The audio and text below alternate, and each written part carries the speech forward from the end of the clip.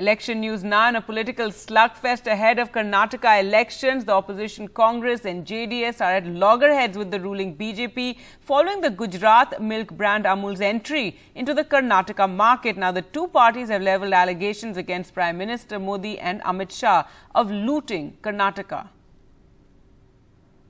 As Karnataka heads to polls on May 10th, a war over milk ahead of elections since Gujarat-based Amul announced its launch in Karnataka market. The Congress and the JDS are at loggerheads with the Bommai government for allegedly destroying local brand Nandini. As the chorus to boycott Amul products grows louder, the opposition accused the ruling BJP for betraying the farmers of Karnataka. Nandini, she is our milk. We have to use her. We have to help our farmers. Because the farmers are not getting proper price, we should help them. It will be deployed. It is Kannada pride, Karnataka pride, Karnataka farmers pride. It is our land. So all the, we have to protect our farmers. What they are trying to uh, send, uh, bring Amul here, it is a very shame on this. I never expected Bommai would betray the fame of farmers of uh, Karnataka.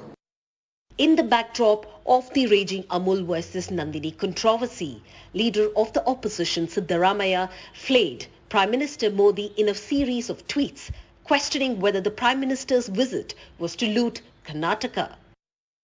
While there's strong opposition from the farmers community and hotel association, the Chief Minister accused the Congress and the JDS of politicizing Amul's entry.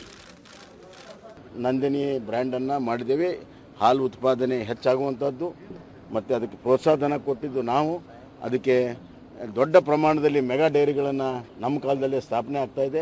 Production capacity ಹೆಚ್ಚಾಗ್ತಾ ಇದೆ. Product capacity ಹೆಚ್ಚಾಗ್ತಾ ಇದೆ. ಮಾರುಕಟ್ಟೆನೂ ಕೂಡ ಇದೆ.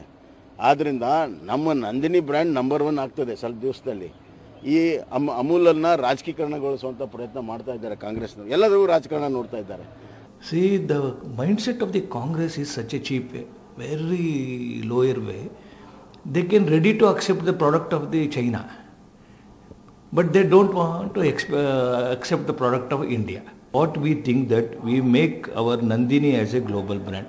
Every nook and corner of this world they want to prefer for Nandini. Okay.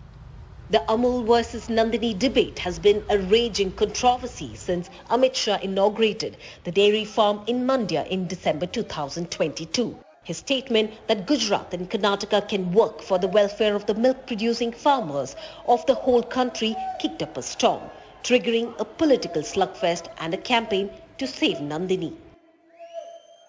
At first, it was an announcement by Mr. Shah on the merger of Amul and Nandini. And later on, it became the imposition of Hindi on curd packets manufactured locally. And now the BJP says the Congress is building a narrative against the ruling dispensation BJP for killing the livelihoods of the farmers and also killing the brand Nandini.